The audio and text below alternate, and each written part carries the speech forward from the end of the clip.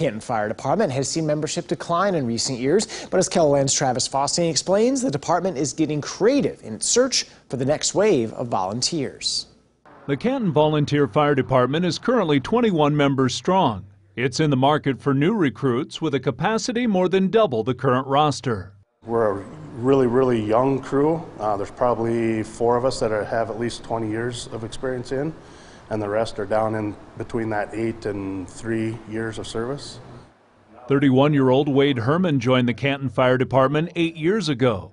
Decided to try and do a little bit more for the town and hang out with some really cool guys and drive some nice trucks and uh, join the fire department. Herman says there's a job for everyone.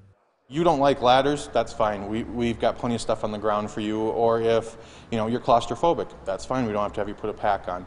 So whether you've got a little bit of time or a lot of time, there's always something we can find you to do.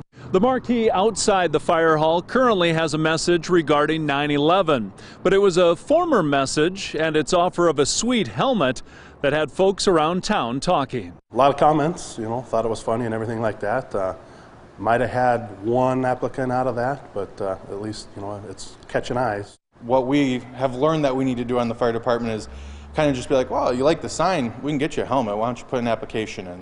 Keeping the department strong for years to come. At least eight to ten more people, you know, down here to help lighten the load quite a bit. You might have limitations in one aspect or another, but there's still plenty that you can do to help your community. In Canton, Travis Fossing, KELOLAND News. The Canton Volunteer Fire Department recently lowered the minimum age to join from 21 to 18. And if you're interested in joining, we provide a link to the application with this story on KELOLAND.com.